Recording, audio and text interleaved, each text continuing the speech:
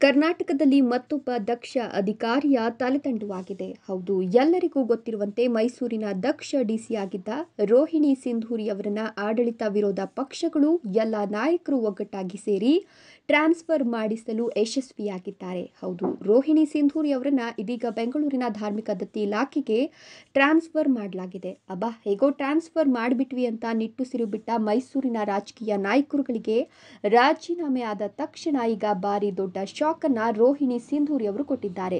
ಈ ನಾಯಕರುಗಳ ದೊಡ್ಡ ಹಗರಣದ ರಹಸ್ಯವೊಂದು ಇದೀಗ ಬಯಲಾಗಿದ್ದು, ಮುಖ್ಯಮಂತ್ರಿ ಯಡಿಯೂರಪ್ಪನವರು ಕೂಡ ಚಿಂತನೆ ಪಡಬೇಕಾಗಿ ಬಂದಿದೆ. ಹಾಗಾದ್ರೆ ಏನಿದು ಸುದ್ದಿ ನೋಡೋಣ ಬನ್ನಿ. ನೋಡುವ ಮುನ್ನ ರೋಹಿಣಿ ಸಿಂಧೂರಿ ಅವರನ್ನ ಟ್ರಾನ್ಸ್ಫರ್ ಮಾಡಬಾರ್ದಿತ್ತು, ಮೈಸೂರಿನ ಜಿಲ್ಲಾಧಿಕಾರಿಯಾಗಿ ಅವರೇ ಮುಂದುವರಿಬೇಕಿತ್ತು ಅಂತ ನೀವು ಕೂಡ ಹೇಳೋದಾದ್ರೆ ಈ ವಿಡಿಯೋವನ್ನ ಲೈಕ್ ಮಾಡಿ.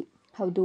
ಮೂರ್ನಾಲ್ಕು ತಿಂಗಳುಗಳಿಂದ ಮೈಸೂರಿನ ಡಿಸಿ ರೋಹಿಣಿ ಸಿಂಧೂರಿ ಅವರನ್ನ ಹೇಗಾದ್ರೂ ಮಾಡಿ ವರ್ಗಾವಣೆ ಮಾಡಬೇಕು ಅಂತ ಕಾಂಗ್ರೆಸ್, ಬಿಜೆಪಿ, ಜೆಡಿಎಸ್ ಸೇರಿದಂತೆ ಎಲ್ಲ ರಾಜಕೀಯ ಪಕ್ಷಗಳ ನಾಯಕರು ಕೂಡ ಒಗ್ಗಟ್ಟಾಗಿ ದೊಡ್ಡ ಷಡ್ಯಂತ್ರ ರೂಪಿಸಿ ಮತ್ತೊಬ್ಬ ಐಎಎಸ್ ಅಧಿಕಾರಿ ಶಿಲ್ಪಾ ನಾಗ್ ಅವರನ್ನ ಕರೆತಂದು ಅವರ ಕೈಯಿಂದ ದೊಡ್ಡ ನಾಟಕ ಮಾಡಿಸಿ ಇದೀಗ ರೋಹಿಣಿ ಸಿಂಧೂರಿ ಅವರನ್ನ ಟ್ರಾನ್ಸ್ಫರ್ ಮಾಡಿಸಲು ಯಶಸ್ವಿಯಾಗಿದ್ದಾರೆ.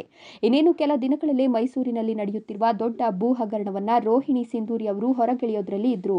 ಅದು ಹೊರಗೆ ಬಂದ್ರೆ ಎಲ್ಲ ರಾಜಕೀಯ ನಾಯಕರ ಬಂಡವಾಳ ಬಯಲಾಗುತ್ತೆ ಅಂತ ರೋಹಿಣಿ ಸಿಂಧೂರಿ ಅವರನ್ನ ಟ್ರಾನ್ಸ್ಫರ್ ಮಾಡಲಾಗಿದೆ. ಆದ್ರೆ ಅತ್ತ ರೋಹಿಣಿ ಸಿಂಧೂರಿ ಅವರು ಟ್ರಾನ್ಸ್ಫರ್ ಆಗ್ತಿದ್ದಂತೆ ಇತ್ತ ಈ ಭೂ ಹಗರಣದ ಆಡಿಯೋ ಸಾಕ್ಷಿಯೊಂದು ವೈರಲ್ ಆಗಿದೆ.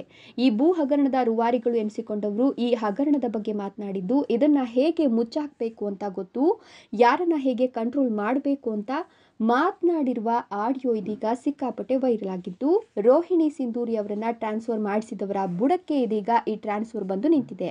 ಒಟ್ನಲ್ಲಿ ರಾಜಕೀಯದ ಆಟಕ್ಕೆ ರೋಹಿಣಿ ಸಿಂಧೂರಿ ಅವರ ತಲೆದಂಡುವಾಗಿದ್ದು, ನಿಜಕ್ಕೂ ಇದು ಮೈಸೂರಿನ ಜನರಿಗೆ ಆದ ಅನ್ಯಾಯ. ಈ ಬಗ್ಗೆ ನೀವೇನು ಹೇಳ್ತೀರಾ? ನಿಮ್ಮ ಅನಿಸಿಕೆ, ಅಭಿಪ್ರಾಯಗಳನ್ನು ತಪ್ಪದೆ ಕಮೆಂಟ್ ಮಾಡಿ. Thank you.